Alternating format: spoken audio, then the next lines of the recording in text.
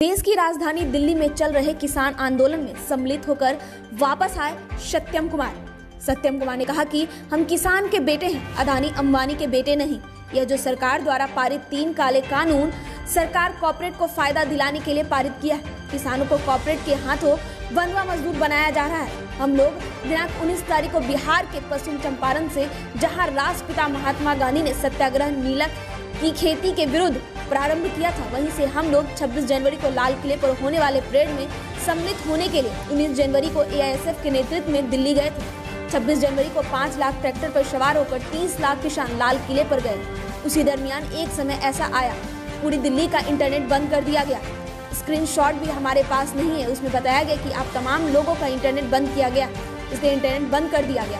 उस 30 लाख की भीड़ में एक मन चले का वीडियो दिखाकर गोदी मीडिया के माध्यम से सरकार किसान आंदोलन को बदनाम करने के लिए वीडियो को वायरल कर रही है। यह सिर्फ़ और सिर्फ़ किसानों के आंदोलन को कुचलने की साजिश है। और क्या कुछ कहा है सत्यम कुमार ने, देखिए इस पूरी रिपोर्ट में। न्यूज़ बिहार के लिए बछवाड़ा से दीपक कुमार राय की रिपोर्ट। तक मौजूद हैं एआईएसएफ के अंचल मंत्री सत्यम कुमार, जो किसान आंदोलन से दिल्ली से अपने वापस घर बछवाड़ा आए हैं। अब किसान आंदोलन में गए थे दिल्ली तो आपने क्या क्या देखा? देखिए, हम लोग किसान के बेटे हैं। हम लोग अंबानी अदानी के बेटे नहीं हैं। और ये जो तीन कृषि काले कानून हैं, ये सरकार कॉरपोरेट को फ़ायदा दिलाने के लिए, हमारे पिता दादा को कॉरपोरेट के हाथों बंधुआ मजदूर बनाने के लिए, ये तीनों कानून असंवैधानिक तरीके से संसद में सरकार द्वारा पास कराया गया। जिसके विरोध में पिछले दो महीनों से किसान दिल्ली के विभिन्न बॉर्डरों पर डटे हुए हैं। हम छात्र नौजवान बिहार के प्रत्येक ज़िले से एआईएसएफ के नेतृत्व में निकले थे, जिससे कि हम लोग किसानों के समर्थन में अपनी एकजुटता प्रदर्शित कर सकें। और जब 26 जनवरी के परेड में हम लोग निकले तो लगभग पाँच लाख ट्रैक्टरों पर 30 लाख किसान सवार थे। और जिस तरह का रूट सरकार ने तय किया उस रूट पर बैरिकेडिंग कर दी गई। जब सरकार ने किसानों को रूट मुहैया करा दिया गया था, तब उस रूट पर बैरिकेडिंग करने की क्या आवश्यकता थी? और उसके बाद जब बैरिकेड तोड़ा गया किसानों द्वारा तो उन पर लाठी चार्ज किया गया, पैलेट गन दागे गए, आँसू गैस के गोले छोड़े गए और इतनी कड़ाके की ठंड में ठंडे वाटर कैनन से उनका स्वागत किया गया। उन पर लाठी चार्ज हुआ। और बहुत ही एकदम अभद्र तरीके से किसानों के साथ, इस देश के अन्नदाताओं के साथ सरकार द्वारा व्यवहार रहा।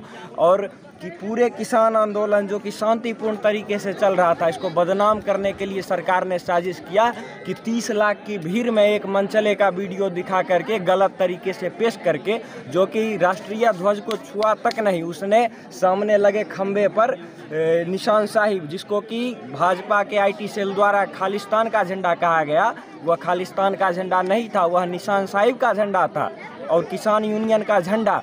उसने वहाँ पर खंबे पर लगाया। लेकिन वो जो खंबा पर लगाया, ठीक है, मैं मानता हूँ कि उसने गलत किया।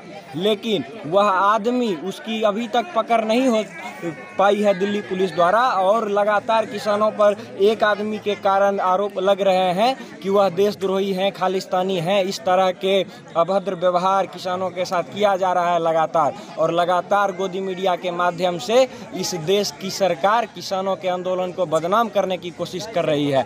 इसीलिए आपसे निवेदन है कि आपकी पत्रकारिता पर पूरा विश्वास देश की जनता करती है, बिहार की जनता करती है।